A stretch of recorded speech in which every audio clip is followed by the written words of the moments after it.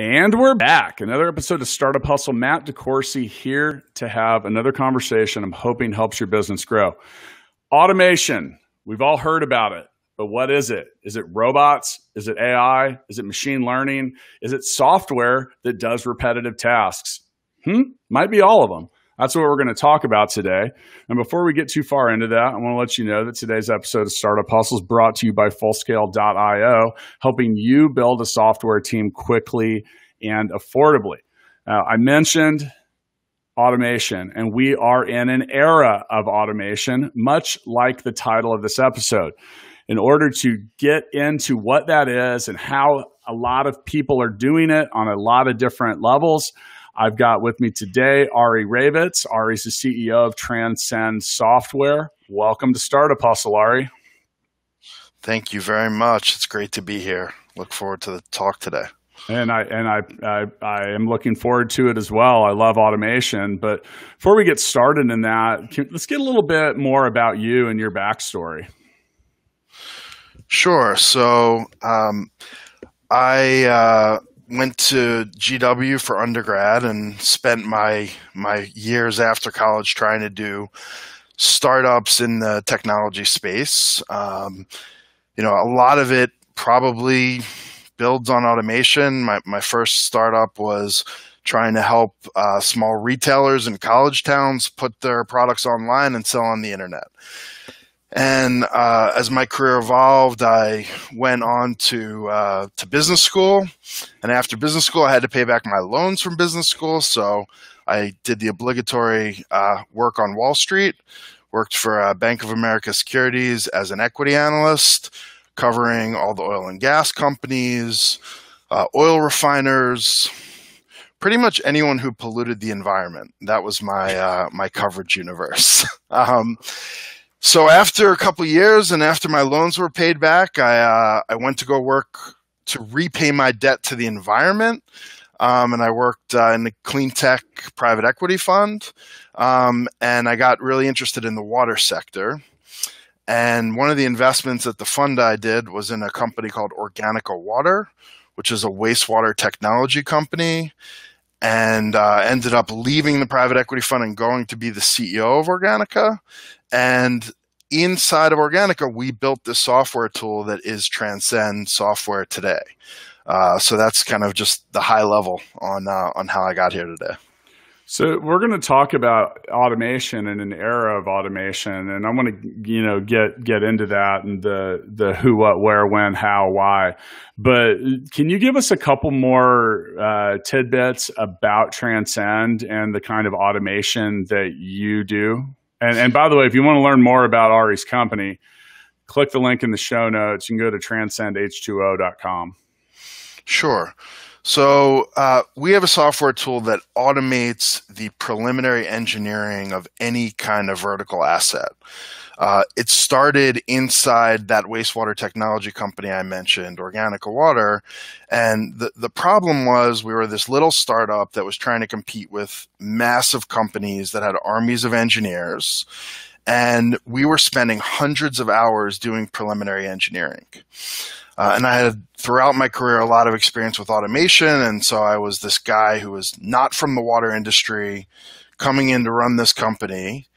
And the first thing I, I thought was, why are we spending, you know, hundreds and ultimately thousands of hours doing these preliminary designs when ultimately our clients aren't getting to specify what they want and we have to go back and iterate and iterate again? And can we automate this? Uh, so we we went out and hired software developers that were also engineers and subject matter experts and we built a tool that automates preliminary engineering of a wastewater treatment plant. So something that used to take hundreds of hours with five different kinds of engineers, process, mechanical, civil, electrical, uh, now can be done just by putting 20 or 30 parameters in, and it'll produce all those engineering documents in the cloud using the exact same softwares that those engineers were drawing in before. And that created a ton of efficiency for Organica. And ultimately, we're able to apply it to other industries. Uh, we're using it for utility scale solar design. We're using it uh, to convert parking lots into COVID testing facilities. That was actually one of our first use cases in, in the whole um, uh, COVID crisis uh, this year. So, um, yeah, so that's a little more on, on Transcend. So automation's everywhere, and you know whether you realize it or not. I mean, everything's automated from the Amazon package that you ordered. That I mean, that's incredibly automated from their uh, fulfillment centers to you know just simple software. What and you know, like I said, in this era of automation, I think it's first important to understand why. Now, with what you just described, the why is okay. Look automation has to help you sell more or spend less. And that's just a simple, you know, now, now, Ari, you went to, you have an MBA from Yale. Can you confirm that I am correct on what you need? preferably, you want both of those things to occur, but let's just, let's make sure that the guy with the, the credentials uh, will agree with us on that because aren't those the basic tenets of automation? Sell more or spend less? Absolutely.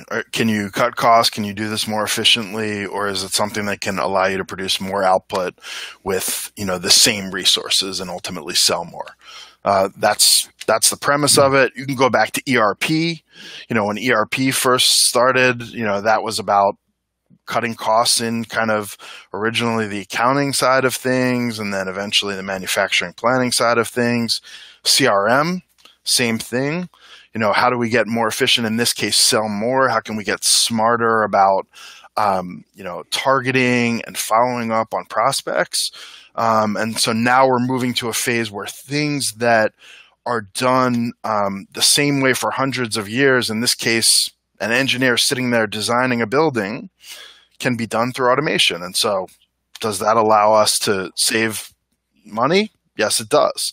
We don't have to spend as much to do that design. And does it allow us to sell more? Well, depending on your industry, you can produce a lot more designs and you can get better outcomes that ultimately make your clients happier. So, hmm. for sure. So sometimes, sometimes the sell more result can come from freeing up the bandwidth to actually have people focus on that kind of stuff. I think that automation at its heart begins with repetitive tasks that people aren't really that excited about doing in the beginning. And you know, whenever I talk about automation or or talk to a business about improving their their BPO, their business process automation, you get people that are that are scared of it. And we even talked about this before we hit record today. Um, sometimes, people, well, well, what am I going to do here? Where's my job going? well look if you're valuable and you have and you create value for a company your best your best uh, action is probably not something that can or could be automated because it's so highly repetitive that it's robotic and um, you know, Very now, true. now that said, automat, automation doesn't install itself in your business. You have to begin looking at, you know, like I said, and in some cases, you talk about these repetitive tasks many businesses have a hard time even finding people to do them because yep. they're not they're not personally fulfilling. They're not like no one wakes up and says, "Man, I want to do the same action like a robot 10,000 times a day." Yeah, and then boring. you know and then you know there's one thing that that's interesting about software and machines is even though they do require maintenance and upkeep and updates, they show up to work every day. Yep, um, and, absolutely. and often they, they work yeah, they work long shifts, and that's that's that's why software businesses and and software companies and many of these uh, startups that you see getting big valuations are what they are because they are in fact scalable. And and I speak to that as the owner of full scale who is an all human company that that builds innovative things for people. But the one thing that isn't scalable about my business is people. Yeah. So, yeah. So, you know, with, with that, you know, and, you know, if we look for the true what of like what is automation and it's a noun, it says the use of largely automate automatic equipment and a system of manufacturing or other production processes. Yeah. And that's a pretty boring explanation, but it's true. And on many levels, while automation is exciting, it is also, which is what it's meant to do, right? Yeah, absolutely. It's meant to be boring and standardized, right? So that you're you're repeating the same outcome over and over again. I mean, I, I'll tell you the story how this whole software was born you know, I was this, you know, guy with two finance degrees who just entered the water industry. And the company Organica that I worked for was based in Budapest, Hungary. So I'd, I'd packed up from New York from my job in private equity, brought my three year old twin girls and my wife to Hungary. And I show up to this company. Um, and there's all these engineers that have been designing wastewater plants you know for 20 30 40 years and I come in and basically say, the boring part of what you do, the preliminary design, you're you're too smart for that. You know, your brain should be used to solve the really difficult problems. We can automate this. And I mean, it was, you know, a an experience in cultural transformation. I mean, people, you know, the the most senior engineer was the most terrified by this thing and fought the hardest against it. And if you ask him today, he would tell you that he doesn't know what his life would be like without it because his whole job shifted from having to do the repetitive, monotonous stuff and having to spend his extra hours, you know, the other, you know, 30 or 40 hours a week that he works normally on top of his base 40 on the challenging stuff to being able to do that on a full-time basis it improved his quality of life big fisherman got to spend more time fishing more time with his kids and and he was really adding much more value for the company while the software was doing that preliminary design work that previously he had to spend so much time on uh, it was just a total change in the culture of the company. Um, and that was kind of how we realized that, hey, this is something we can apply much more broadly than to just, you know, this one wastewater technology company. So. Do you think that do you think that that initial resistance to automation occurs from that inherent n- need to not be replaced? I think that's a part of it. I think in general, people are resistant to change. Um, True. You know, any anytime there's a new, completely new or disruptive way to do something that's been done the same way, you're going to have a lot of resistance from the old guard. People that are afraid to try new things, no matter how much technology evolves. And, you know, five years ago, they were going to the office and buying everything retail, and today they're sitting in their home on video calls, buying everything online. But still, when it comes to their day to day, even if they're changing and all this change is happening around them, you know, they resist. And, and they're, it's a fear. A lot of it is fear that, you know, what's going to happen to, to my job and um, what's going to happen to my future. So, um, and, and no, no one can, no one or nothing can do this as well or as accurately as I can.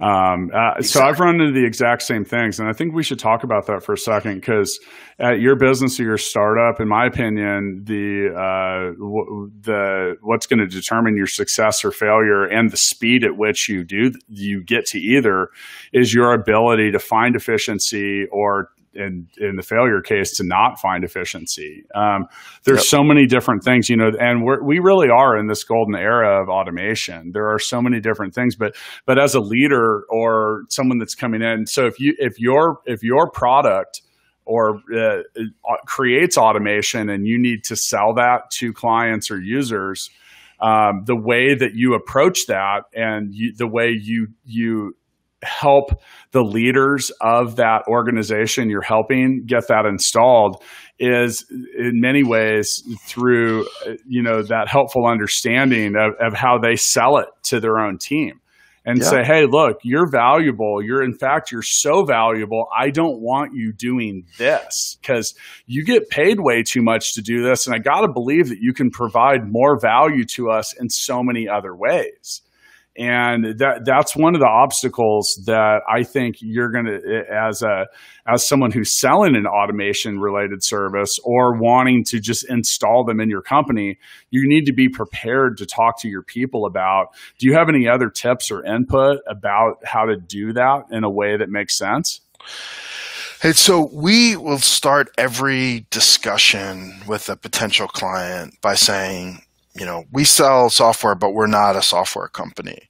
This is about changing the way that you do business first and foremost. And the success or failure isn't going to be determined by the product.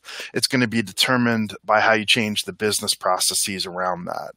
Um, we are constantly facing that resistance from people. And so I think a big part of what we try to do, like from a selling process, is figure out who's the right person to talk to in the organization about this. You know, who's got the vision to see in two years and five years and 10 years where my industry is going to be. And then the ability to find those other people inside the organization that can see the benefit and how that can kind of overcome this fear uh, and the just general inertia that's in there. Um, and we're not dealing with an industry like our, our initial target is basically large engineering firms and utilities. So these aren't, you know, innovators and early adopters of new technologies. And and when you look in the United States at the quality of our infrastructure, and I'm sure you know this has probably come up in past you know podcasts that you've done, but I mean it's it's falling apart. A lot of that is because you know there's a lack of innovation in those sectors, right? There's a lack of ability to take risk, and so you know and that's why transcend exists and we we think that we can help break that paradigm and have more sustainable infrastructure in this country more re- infrastructure that's more resilient to climate change that's adopting new technologies um, by using software to automate some of the preliminary engineering because it forces the, the the the industry players to that next phase. Software allows you to evaluate all these new technologies, and automation does that for you. So, um, but yeah, I mean that behavior change and finding the right people, it's a huge part of what's going to drive our success or failure.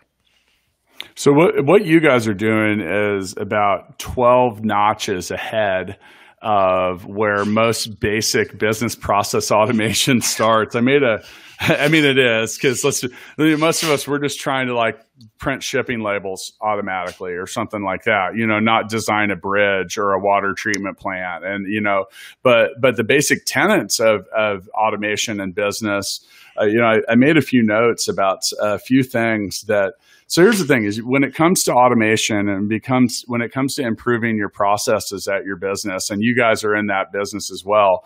Uh, and and I I've been a I'm kind of a nut when it comes to this stuff. You first have to look at the the best way to improve a process or to make it the most efficient is to not have to do it at all that is literally like the crown jewel of efficiency. It's like, let's just right. stop doing it. So, anytime right. you look at small business efficiency or business efficiency in general, you have to say, you know, do we even need to do this at all? And I'll give an example. So, we had, and this wasn't even an automation process, but at, at a prior company I owned, we were spending, you know, basically $4 in loss prevention for every dollar we would have lost without it so it was actually four times. Yeah, and, and now it, it didn't take long for us to figure that out. Well, yeah. that was the thing, and and yeah. in that case, it just had to do with the inaccuracy of shipping or order fulfillment. Um, mm-hmm. And you know, like I said, we were spending, for, you know, but but the thing was, is want, when when an, when something occurred in that in that realm, it was just a big pain in the butt so the staff had kind of had kind of become conditioned to want to avoid that experience but there wasn't thought around it as far as like is this even valuable? So like i said we're spending four dollars in labor trying to trying to prevent a dollar in loss somewhere else. So you just stop doing it and you accept that there is a level of failure that exists like nobody's perfect. Nothing's right. perfect. Things happen you know? Something falls off the truck and breaks uh, occasionally like can't do a whole lot about that. So you got to first start looking at, at like you know do we even need to do this at all? The next thing you have to look at and this is this is where people fail when, in my opinion when it comes to automation is well it's easier for me to just do that because it only takes a minute. Yeah. and the thing is is it, it, it if you hear it only takes a minute It only takes a minute. Those, those are those are famous last words of the yeah. inefficient. Uh, so m- those minutes are similar to the jar of change that exists on your dresser or wherever you keep one. We all have one or, or whatever. And you're usually shocked when that thing's full, filled up and you go and you dump it out and you're like, wow, 374 bucks? Awesome. Yep, yep. well the th- same thing exists in your business. So with automation i find that there's usually not a silver bullet that solves something on a 100% level. So another thing i see people fail at they say well we tried something but it only did 90% of what we needed it to do. And, I, and i'm going man that's a huge win. Right. did you hear the same thing Yes, because that, that, sounds what your preliminary design software is. Like hell, if we can get this thing to ninety percent eh, on its own, then we put the finishing touches on it. Huge yeah. win. I mean, we're just trying to get to twenty or thirty percent initially. You know, sure. maybe you know a, a construction level drawing with nuts and bolts is you know we're you know years if not yeah we're years away from being able to automate to get to that level but we we constantly hear that from people is oh well but this is only doing the first 20 or 30 percent. Uh, that's easy. Yet when you talk to the business owner the p&l owner and they look at that and they say well how much am i really spending on you know that first 20 or 30 percent? How many times am i probably iterating? a lot. Yeah. Right? Yeah.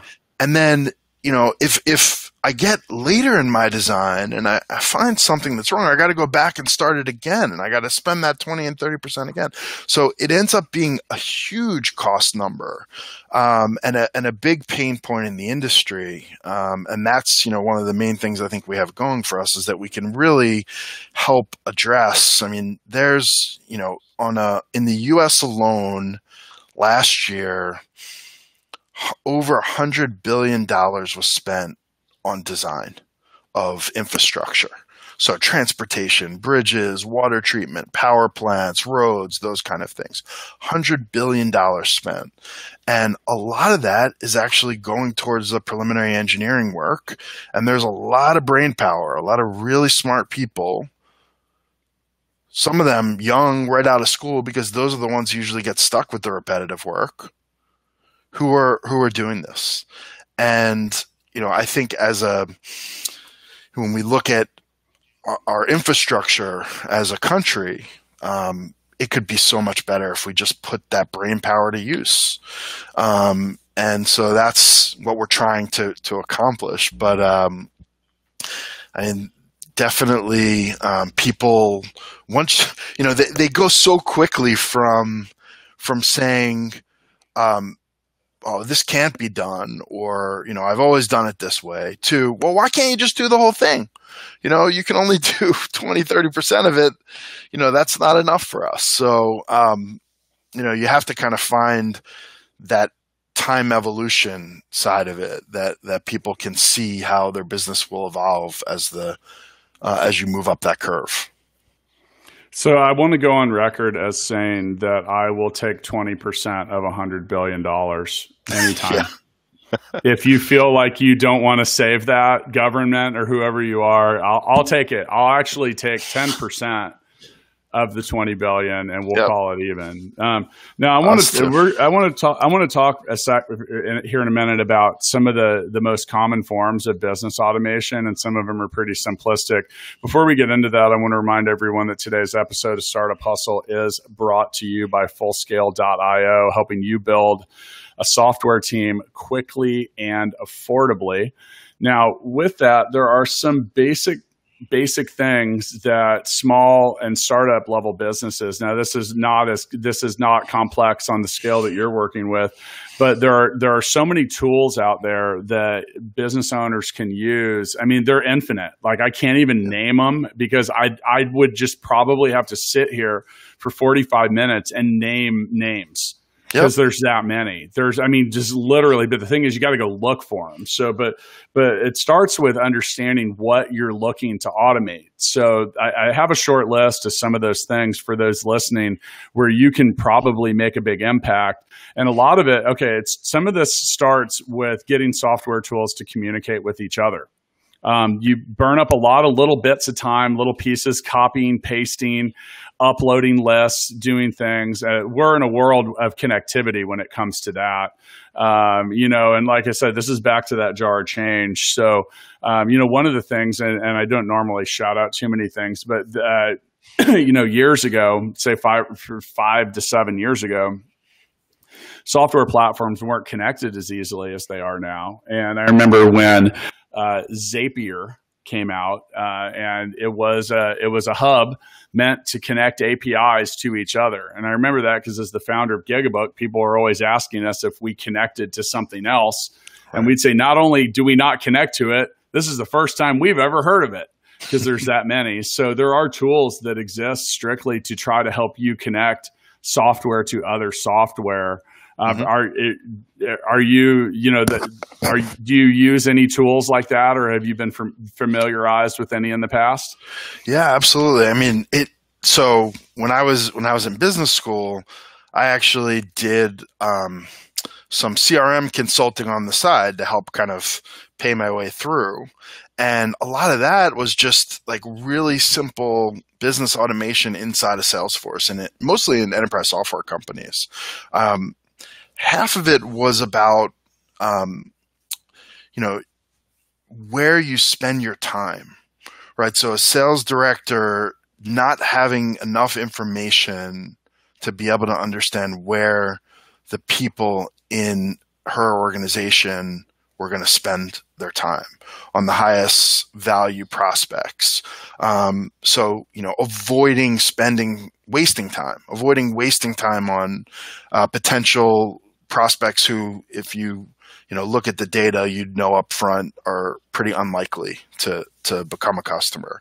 Um, and then the other part of it was just, taking stuff that was done in an inefficient manual way and a non-standardized way for example, the way you qualify prospects or the way that you're recording the progress of your different meetings against them.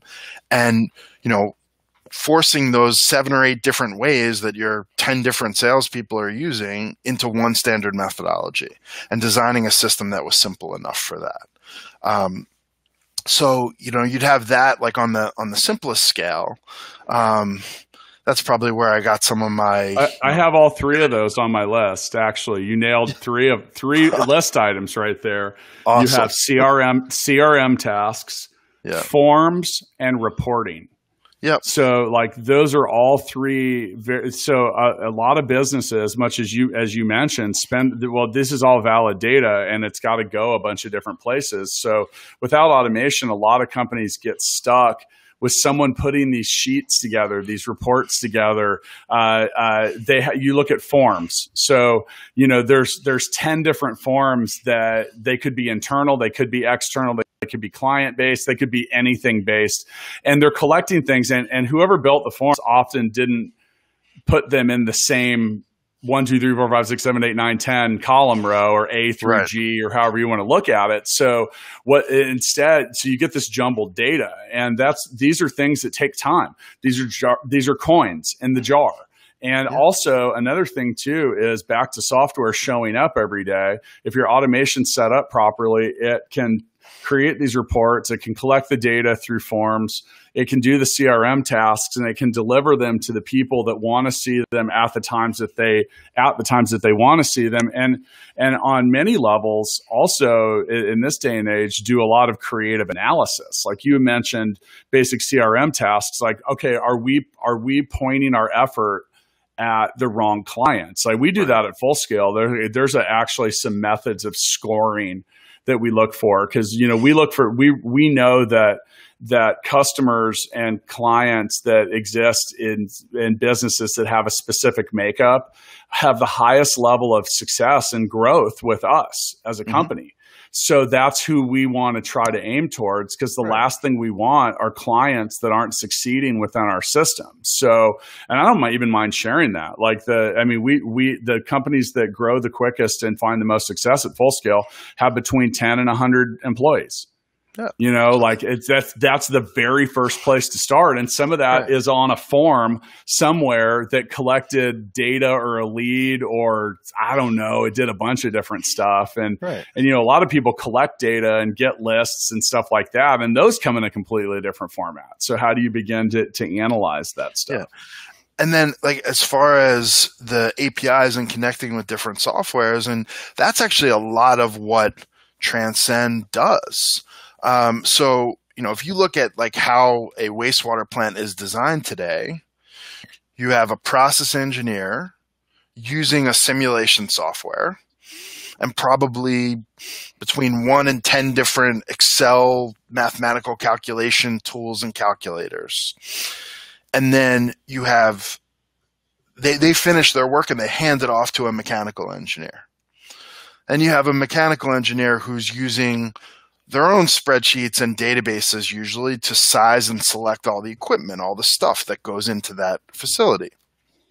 So they take all of that and they're using different software tools to do that and they hand it to uh, electrical engineer who does a similar thing with different softwares and ultimately to a civil and an architectural engineer who's using a CAD software or a BIM software to put the whole thing in a box, some kind of building. And what Transcend did in the beginning and what we do today is we just connect all those dots. So if you're using multiple software tools, we're going to standardize that around one. If it's, you know, a simple calculation methodology, it'll just go into code. If it's a simulation software that's specific to an industry or a CAD or a BIM software, we'll generate the parametric data set that can then be used by those software tools for later detailing.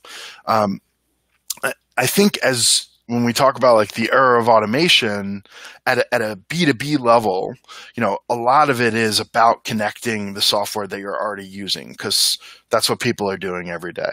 Um, and that's where a lot of the inefficiency has been created is different people using different softwares on those handoffs from one place to the next to the next, losing data. Um, certainly in the engineering industry, that's where a ton of inefficiency is. So, um, so that's what we're we're trying to address there. So I, when we have our company meetings at full scale, uh, my my buzz phrase lately has been delegate or innovate. And sometimes, you know, sometimes innovate. Look, little basic innovation within your business is uh, sometimes about creativity. And people will say, "Well, this software doesn't connect to this software."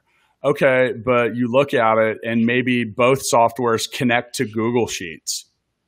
Now you have a connection. Now they connect. They're integrated. And and the same thing like there's a lot of these tools that you can get for free that create yeah. an interesting bridge. So, you know, I mentioned earlier the founder of Gigabook as well, which is built in my spirit of automation. So that's uh, booking an appointment flow, which does notifications, reminders, puts it on your calendar, uh, you know, uh, does invoicing, does a whole bunch of different stuff. There's a whole daisy chain of stuff that comes in there. Um, yeah. So that's another tool uh, when it comes to basic automation. Now, look, six years ago, people like, okay, now if you don't have a booking link, whether you're using Gigabook or Calendly or anything else, use something because you waste a lot of time scheduling appointments and you don't even know it. Like there's nothing better True. than seeing when someone's available. You use Gigabook to book a time on this podcast. Otherwise, yep. we would have sentenced ourselves to emailing or someone email when are you available? I don't know when are you available? When are you available? No i'm not ain't going to work. When are you available? And then and then who knows? Maybe you forgot. So you know gigabook reminded you of of this. It it let you know that you were booked. It let me know you were booked. It's on my calendar it texted it's on, me yeah. and emailed yes, me and, yes. and get and guess what dude? People don't miss the show. Yeah like I mean, it happens I'm like sure. one out of a hundred times because at a minimum, they reply to multiple emails and say, I'm not available. I need to reschedule. That, right. that is okay. But yeah. it's just the blank screen when we're waiting in the studio. So, and yeah. speaking of which, you know, we are we are on this episode. We're using our beautiful new virtual studio. That now I didn't I didn't I didn't put Ari in front of a true live stream today but you can check this out on video and you can confirm that my face is made for radio um, by watching us on video. So we are going to be live streaming all of our episodes very soon. Okay, so um, now and not every but not. Go ahead. I was just going to say just to build on that. So at, at Transcend, um, and really at all the companies I've done over the years, I mean, we're constantly looking for new tools like this. So, like, I'll give you an example.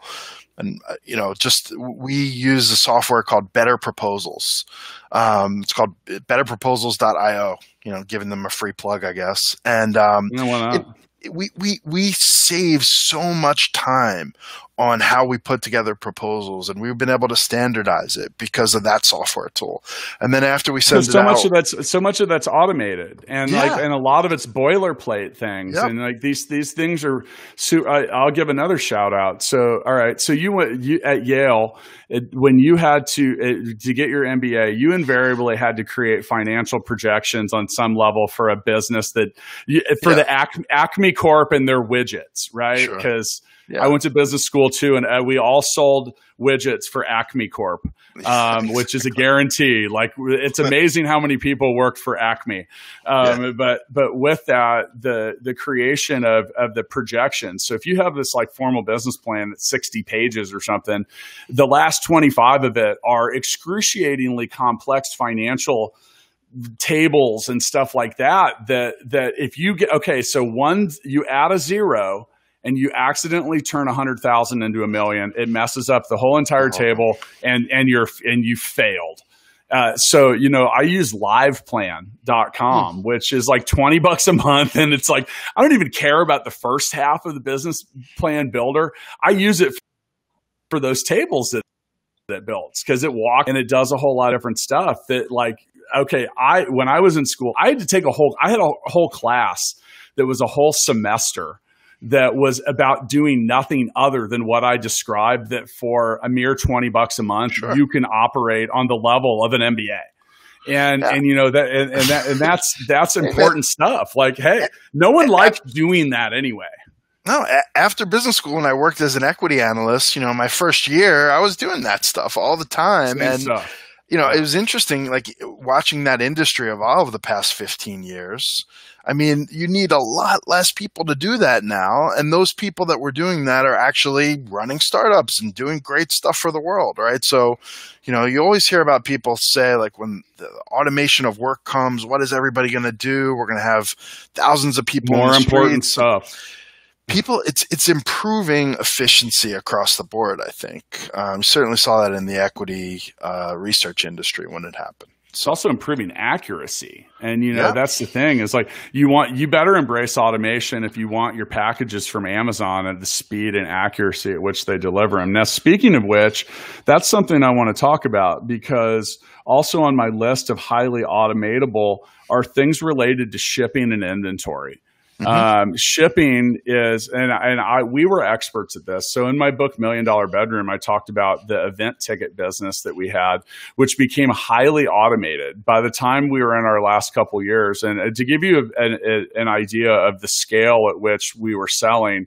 Uh, when we were in San Fran, when my wife and I were in San Francisco, at, in 2016, we stopped by StubHub headquarters because they found out we were going to be there and like, you have to come by. I'm like, why do they want us to come by so bad?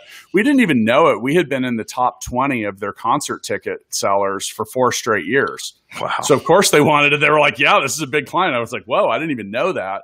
Hmm. but we would, we got to that level by the efficiency that we created. So we had built an automated stuff that, that helped helped us create purchase orders.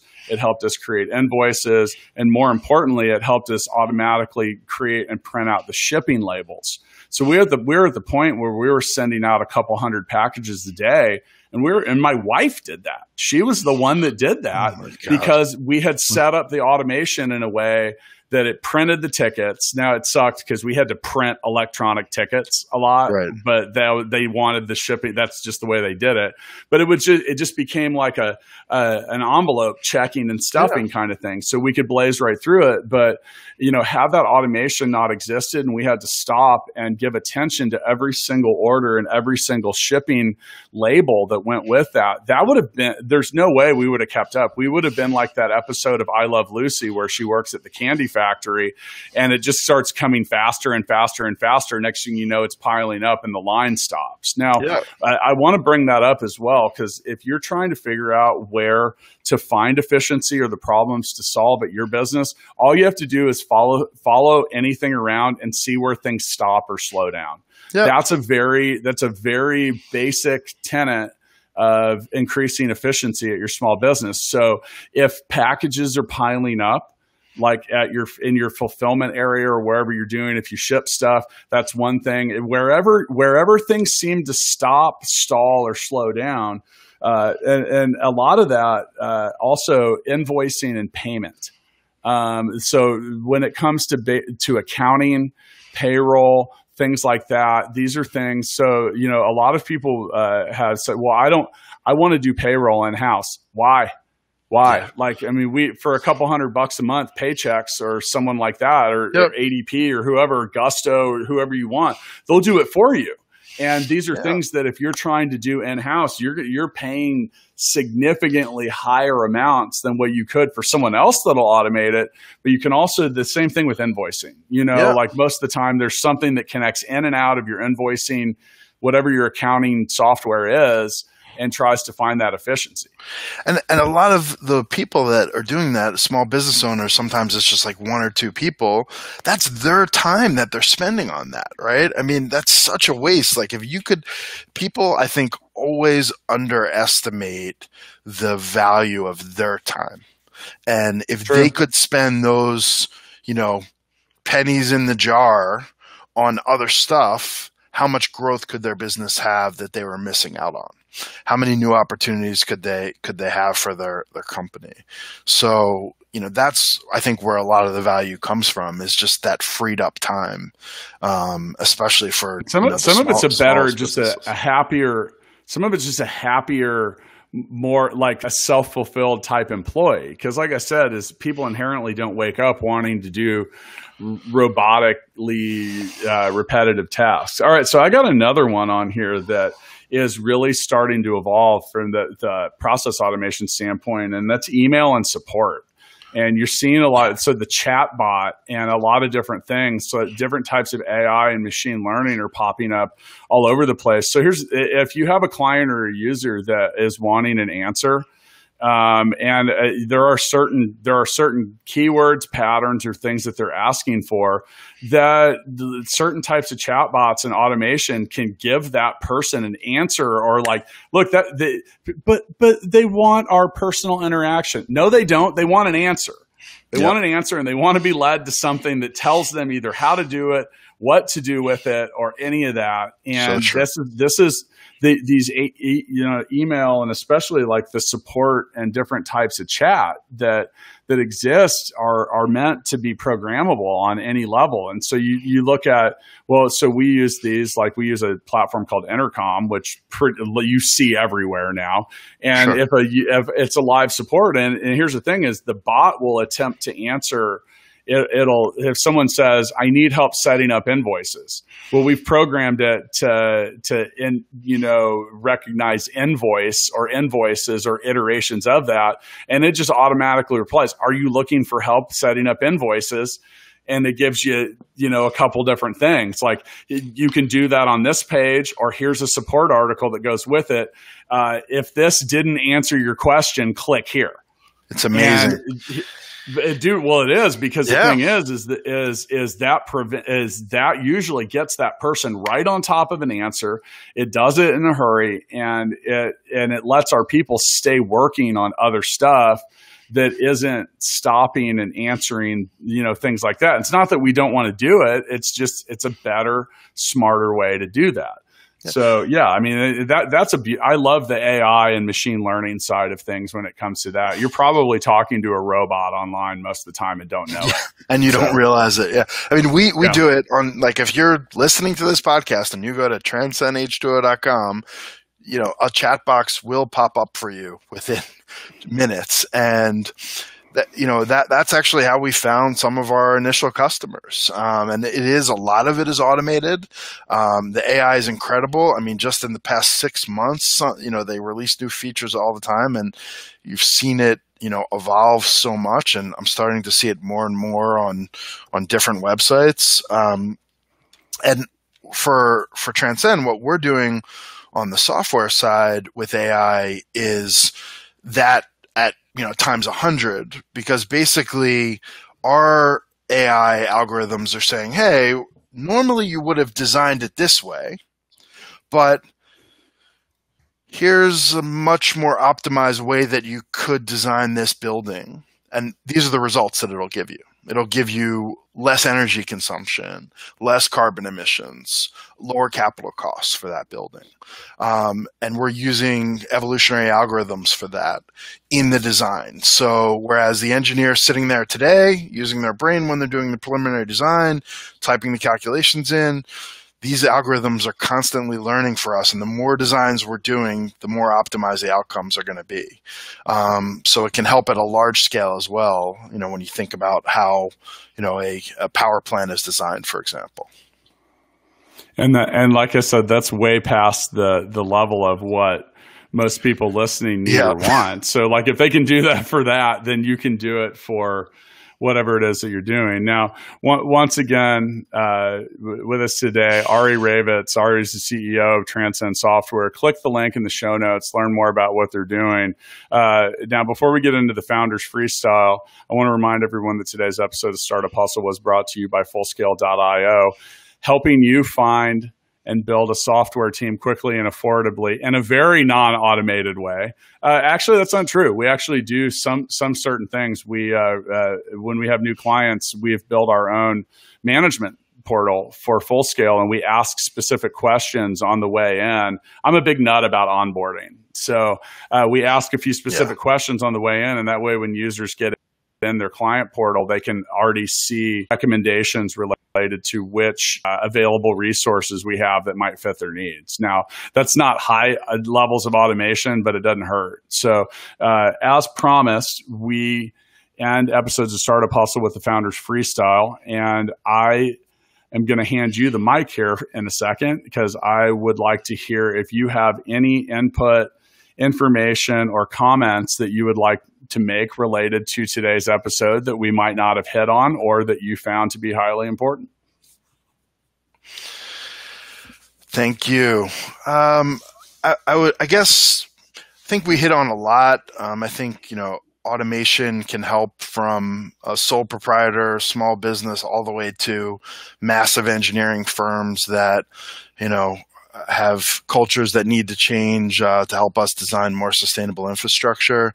Um, I think it's important to keep in mind that a lot of automation is not about the software itself. The software enables it, but it's more about you understanding how your business functions, where the bottlenecks are, where the opportunities are that you can increase revenue or reduce cost as as we started with, um, and then having the will to make that happen inside your company. Uh, as you've seen over decades of automation kind of creeping into business, those that adopt it first and embrace it first and transform their cultures around it very often are the ones who end up being most successful in their industry. So I'll leave it leave it there. Actually, that that was a perfect ending because I think you're 100% right. It's the, I mean, the software is the software, but if you don't understand what it is, the problem that you need to solve, the software probably isn't going to do it for you. I mean, on some levels it might. I mean, on the basic connectivity stuff we talked about, that can be pretty straightforward, but you have to try to understand the why you know the why of what you want to do and like really come into it. And remember uh, that's a pretty i think you get a pretty easy start with that. I want to figure out how to sell more or spend less. And, and that, those are the zeros and ones behind that. That's the most binary thing. Now if you can do both then you really win. So you know other other uh, kind of uh, cheap cliche things better faster cheaper Um, look, mm-hmm. you know, you don't have to go to Yale to learn that one. Like that's pretty much we get that's that true. we get that everywhere. That's the basic tenet. Now here's the thing: is if your business isn't doing it better, faster, or cheaper, you got to you have to be. Business school will teach you you have to be winning. You have to beat your competition at two out of three of those things at a minimum to to be ahead to maybe be ahead in the race. If you get all three, you, are really onto something. So, look, better yeah. is about better response time, more accuracy, uh, faster, cheaper. Like automation conquers all three of those in many different ways. So you got to look at all those different things. And the, the thought I want to leave everyone with is remember, when it comes to efficiency, always ask yourself, do we even need to do this at all? Because you will find yeah. in many cases that your business has been habitual. Like you have formed habits around certain things and doing stuff that really, in the end, isn't that important and you can live without that process. So before you learn to automate, see if you can, if it like really look at it, say, do we even mm-hmm. need to do this at all? Because if you don't, then there you go. That's the one thing that's better than automation is literally just chopping a process out if you don't need to do that. Speaking of which, I'm going to go take a look at my own business and figure out where I can automate or create some more efficiencies. So I'll see you next time, Ari. All right, great. Thank you very much.